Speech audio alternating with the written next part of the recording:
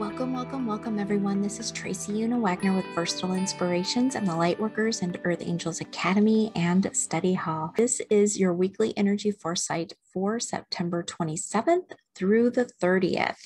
And this month, we have been taking cards from the Gilded Tarot deck by Ciro Marchetti. And what a wild ride September has been. But as I promised, the end is much better than the beginning was. And this week, which is a short week, it's just till Thursday, we have the Ace of Swords. Yes, the swords again. But wait, listen what the sword, the Ace of Swords has for you. This is truly an auspicious card. Even though it is part of that earlier sword gang, this card is letting you know that you have triumphed over those challenges from earlier this month. Congratulations. This is a big win. You have proven your strength and courage more than once in September. This is your sign that success is yours. Booyah. So, this ace is just letting you know you have aced it. you have aced the swords this month. Oh my goodness. And your light is shining so bright, so brilliantly. That star from the beginning of September has really come so brightly into your life with so many tools that you can use now for any challenges that may come up. You totally have success through these swords. It is amazing and it's beautiful to see your glow shine so brightly now. Just be willing to receive all of the beautiful gifts of success that is yours at this time. So I've taken one card since it is a short week. And I will see you again on Friday for the first few days of October, which is my favorite month of the year. But I decided to take cards from the Ascended Masters deck, and this is by Hay House.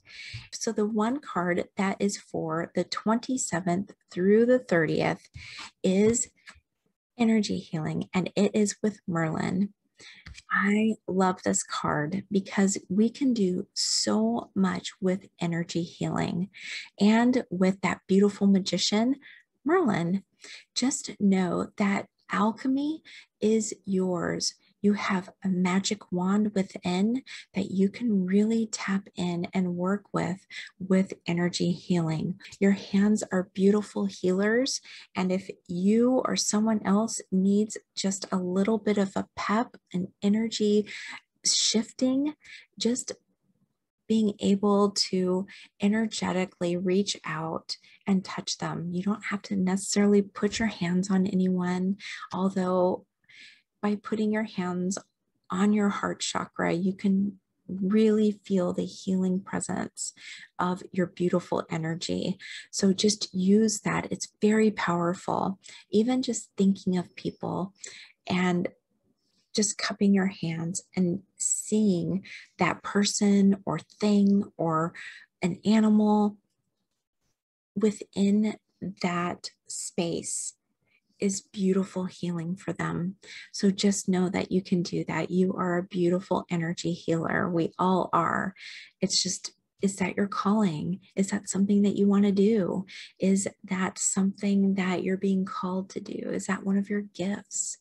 If not, just place your hands on your heart and just allow yourself to fill up full with that beautiful, loving energy healing. All right, everyone. Blessings on ending September. You take care, and I will see you again on Friday for our first few days of October.